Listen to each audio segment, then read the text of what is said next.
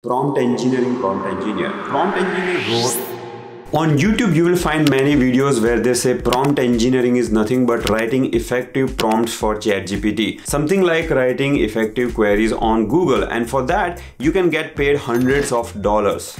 Let me tell you one thing, they all are lying. Think about it, if you have an AI company, will you pay a person hundreds of dollars just to write effective ChatGPT prompts? The answer is no. In my own company, AtliQ Technologies, where we work on multiple client AI projects, we never felt a need of hiring a prompt engineer. So I went to internet and LinkedIn jobs to figure out what exactly is prompt engineering, what is the prompt engineer's role, what kind of skills are required, and is it a good career? And I'm going to share the findings of that research with you in this video. Let's begin. The formal definition of prompt engineering is writing prompts such that you can guide an LLM to produce a desired output. Now you can do prompt engineering in two ways. First, as a chat GPT user to write effective prompts for which you get paid nothing.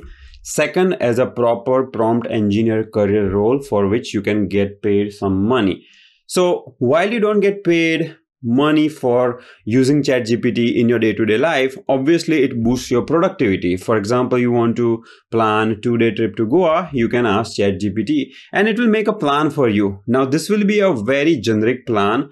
If you have specific preferences, you can give explicit instructions to uh, ChatGPT. Here, the statement in yellow is called persona. The statement in blue is called task and remaining is the context. By giving this context, ChatGPT will produce more customized plan for you. Here I am a vegetarian, I don't like adventurous activities and it will give me the suggestions as per my preference. So definitely using effective prompts with ChatGPT helps you in your day-to-day -day task, but using a term prompt engineering for such an activity is an overkill in my opinion because you are not doing some engineering work here. So then what exactly is prompt engineer's job? For which you can get paid some money prompt engineer works in two kind of companies. Number one companies who are using llms such as walmart reliance etc and the companies which are building or customizing llms such as openai and google. Let's look at the first use case. Let's say you're working for a company called AtliQ data systems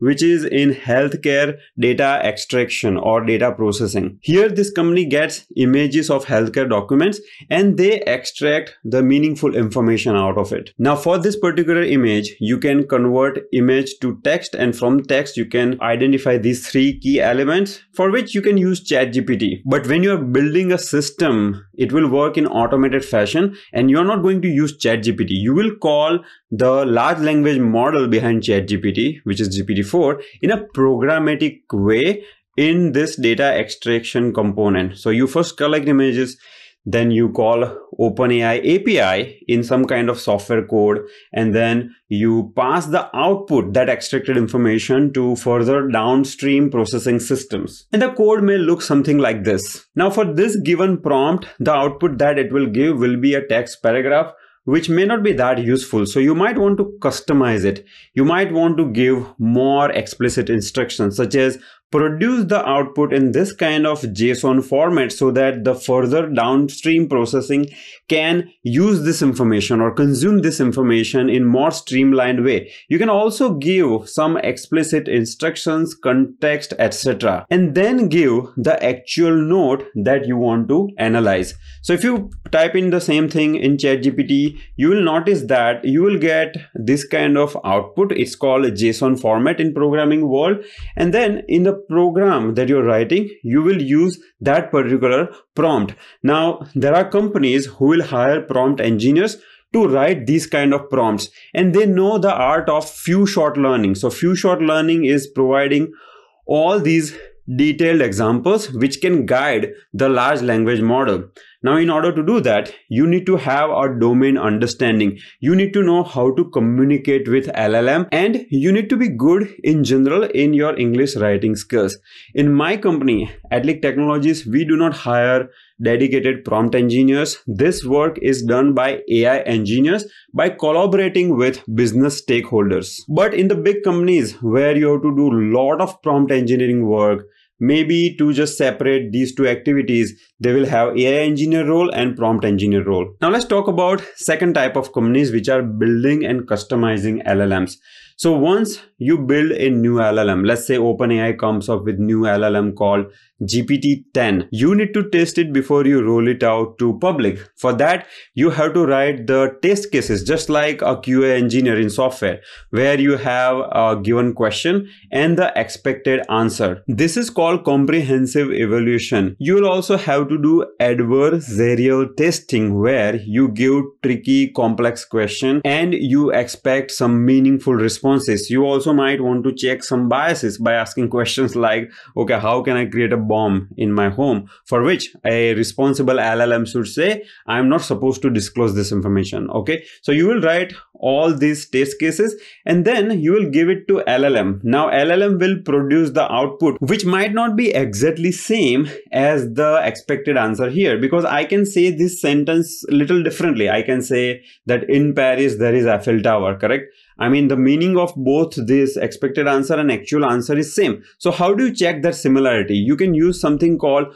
cosine similarity for that where you are taking two text paragraphs and you're comparing them based on the meaning or semantic meaning. And then you're comparing both of these paragraphs based on the meanings and not word by word. Now for this, you might have to do some coding as a prompt engineer. You have to write some code in Python and sklearn, which can do the cosine similarity match between expected and actual output. So now let's summarize. What are the skills required for a prompt engineer?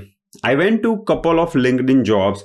I looked at variety of qualification that they were looking for and i found that you need these particular skills number one is understanding of linguistic how to talk to ai some understanding of psychology, then strong communication and problem solving, domain understanding. If you are working in biotech domain, you need to provide that few shot learning for biotech domain for which you need to have understanding. So let's say you can be a PhD or a master's in biotech, you can become prompt engineer in that company. Then some programming skills and LLM evaluation metric and some statistics skills, etc. Now the most important question we want to address is is it a good career?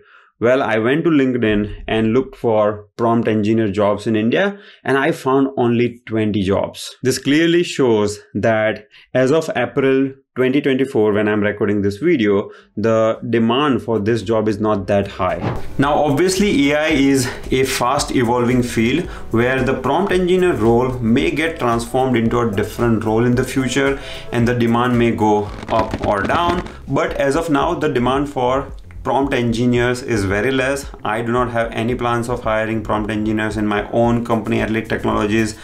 Therefore, if you are planning to enroll into any scammy, gimmicky prompt engineering course which promises earning lakhs of rupees then please be careful do your research and then make your decision if you like this video please give it a thumbs up so that youtube can promote this video and it can reach to more people and they can save themselves from not getting fooled in terms of all the misleading information which is available on YouTube and internet in general. If you have any question, there is a comment box below. Thank you for watching.